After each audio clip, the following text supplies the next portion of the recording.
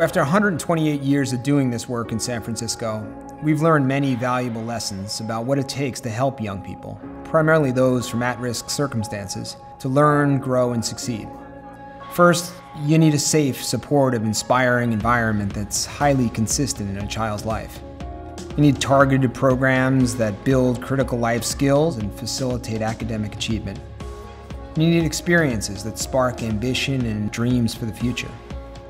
What we've also learned that what is absolutely most important is to surround young people with skilled and caring staff. Staff who hold high standards and set great examples. Staff who have the capacity to relate to the young people we serve.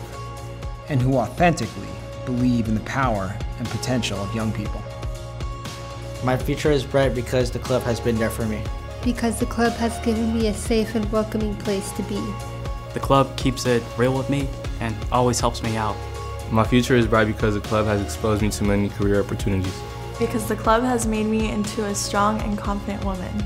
Because I believe I have the resources to get there. Because the club inspires me to do better. Because of how welcoming the club is. Because the club believes in me.